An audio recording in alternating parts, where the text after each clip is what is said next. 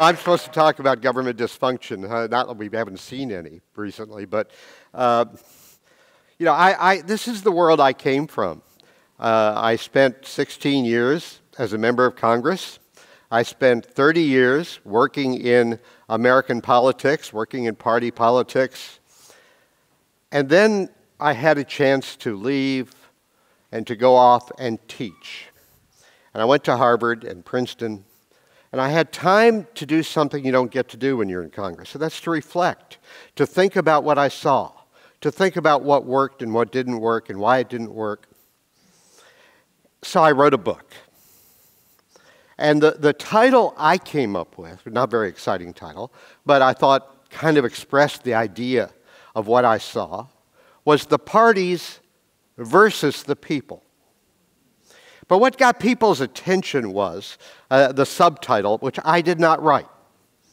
Because the book started with an article in the Atlantic magazine, and the editors of the Atlantic put on the article this headline How to Turn Republicans and Democrats into Americans.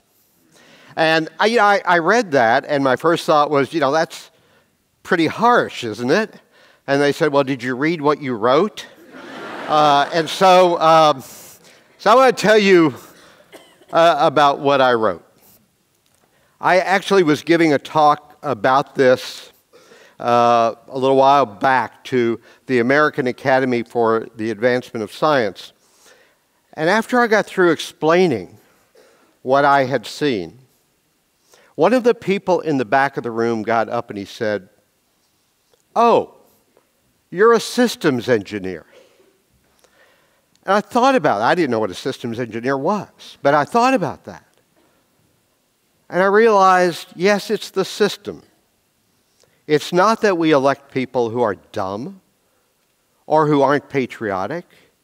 Everybody I served with in Congress, both parties, cared deeply about America. They wanted to do the right thing. So, why doesn't it work? Why is the Congress more like the NFL than like a group of Americans sitting down together to look at our problems and try to solve them? So let me tell you about the system that we have created in America that Washington, Adams, Jefferson, and Madison all warned us against repeatedly. Don't create the political party system that we have created. So let me try to give you a couple of examples of how this works in terms of who uh, is sitting in, in Congress and making the decision. You know, one of the things to remember is that in our unique system of government, all the major power of this country is in Congress. It's not in the executive branch. Over war, over spending, over taxing, it matters who serves in Congress and whether or not they are representing the voice of the American people. So, a couple of examples of how the American people are being represented. When Joe Biden became vice president of the United States, there was a vacancy for a Senate seat in Delaware, and everybody knew who the next senator would be Mike Castle, who had been the governor, very popular uh, member of Congress. But he had to go through a primary first. That's what we do. We have party primaries. And a lady named Christine O'Donnell ran against him. And she got 30,000 votes and beat him. His people didn't turn out, they knew he was going to win. She got 30,000 votes in a state of 1 million people.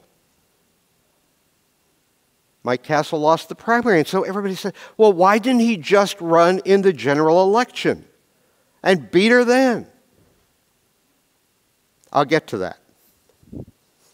State of Utah, you probably are familiar with uh, a senator named Mike Lee, who uh, has played a big role uh, in the partial government shutdown that we had. In Utah, which has not a million people, but three million people, they start with a party convention. And they had a party convention that had had roughly 34, 3,500 people at it partisans, ideologues, party activists. And the senator there running for reelection was Senator Robert Bennett. very popular. He'd been in the Senate a long time, very well liked in the state. But they had this convention of activists. Mike Lee got roughly 1,200 votes in the second round. 1,200. So he beat Robert Bennett, who came in third, who had 900 and some. Difference a little over 300 votes. That ended Robert Bennett's career. Why? Why didn't he run in the general election when he would have certainly been elected to the Senate and he would not have gone along with the government shutdown? Why? Why did Mike Castle and Robert Bennett not run in the general? Because we have created a political system in which winning a primary is not an endorsement, but it is a system to keep people off the ballot. In 46 of the 50 states, if you run for your party's nomination in a primary or a convention and you don't get it, no, no matter how few people participated, you can't run on the ballot. You can't be on the ballot in November. We allow small groups of hyper partisan ideologues to control access to the ballot and to keep the millions of people in the state from being able to choose who they want to make the decisions about spending and taxing and going to war. You may be familiar with one of the senators from Texas who gets in the news from time to time. Uh, Senator Cruz, in a primary in Texas, got less than 700,000 votes. It's a one party state. You get the Republican nomination, you pretty well got it made. So he got around 700,000 votes in a state of 26 million people. That's how Senator Cruz got to be Senator Cruz. That alone says that the people who get elected to Congress, House and Senate, are not really represented. We don't know if they represent the people of their communities, their districts, their states. What about redistricting? I'll tell you about it. The Constitution envisions that whoever is elected is going to be able to be an articulate representative of his or her constituents. You're from there. You have to be from there. You have to be one of them. And they have to know you, and you have to know them. Let me tell you how that really works. In 37 states, whichever party controls the state legislature draws congressional district lines for its own advantage. Just a little personal story. You know, I'm a city guy. I grew up in Oklahoma City. I think I was on a farm once or twice as a visitor. I had no idea what I was looking at. You know, I know nothing about farms. Food comes from a grocery store. Uh, and I, I was the first member of my party to get elected to uh, Congress from my district since 1928. My district, I'm a, I'm a Republican. My district was 74% Democrat. And so the legislature then, was, which was controlled by the other, both parties do this, by the way, uh, both are equally bad. Uh, what, what happened was my district was redrawn in order, since they couldn't beat me, I don't know why. My mother certainly didn't understand why they couldn't beat me, but uh, they, they couldn't beat me, and so they decided to put all the other Republicans they could find in my district and take them out of the other districts and make them safer for their party. The result of it was that I, the city guy, was representing wheat farmers and cattle ranchers who, under our constitutional system, are entitled to be represented by somebody who could speak for their concerns and their interests, and I tried but I couldn't do it as well as they deserved because it served the interests of the party. To heck with the voters, it was about the party. So let me tell you what happens when you get elected to Congress. Uh, I don't know how many of you have actually uh, been on the floor of the House. You know, if, if, TEDx did things like most people do, there would be a lectern here. And everywhere you go and you look at a speech and, and you hear somebody, there's a lectern, right? Not on the House floor, there's not a lectern. There are two lecterns one for Democrats and one for Republicans. uh, the first time I, I, was so full of myself, the first time I gave a speech uh, on the House floor, I knew I could persuade the, the Democrats to, to go along. So I stood at their platform and I looked at them, you know, and I started to speak to them, and there was this gasp. It was like you're going to get cooties if you touch the wrong lectern, you know, that belongs to the other party. Uh, you, there are separate cloakrooms, you know, where you can go have a sandwich or read the paper. You don't do that together. Republicans do it in one place, uh, Democrats in the other. The, when I first was sworn in, it was a great kumbaya moment. We're all very happy. We're standing there together uh, and, and getting uh, sworn in together, and we're going to save America. Uh, that lasted for 30 seconds. And then we voted on who would be Speaker. All the Democrats voted one way, all the Republicans the other way. You know, we decided the, the ratios on the committees. All the Republicans voted one way, all the Democrats voted the other way. That's the way it was every single day I was in Congress for 16 years, party versus party, all the time on everything we had Republican staff or Democrats. I didn't know Democrats uh, added differently than Republicans do, but apparently you do. So this is the system we've created. It's not in the Constitution. Our founders warned us against it.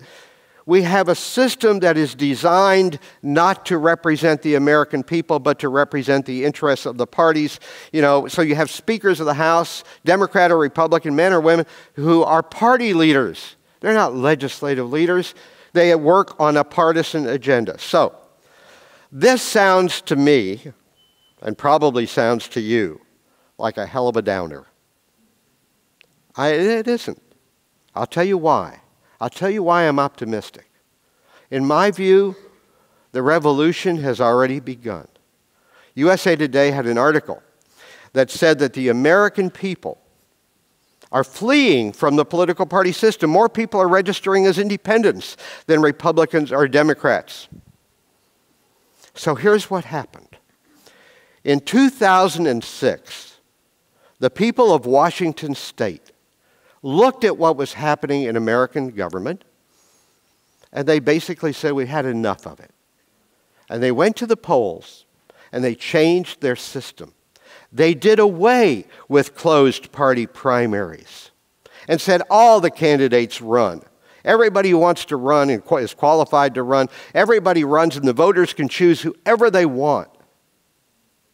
And they did away with party control of redistricting. That was, that's Washington State in 2006. In 2010, California did it. And California got rid of closed party primaries. And California got rid of party control of redistricting. And there was an article in the New York Times front page last week that in California they are finally passing legislation in a bi partisan way. Look, our system is supposed to be a constitutional democracy where, as long as what is done is within the confines of the Constitution,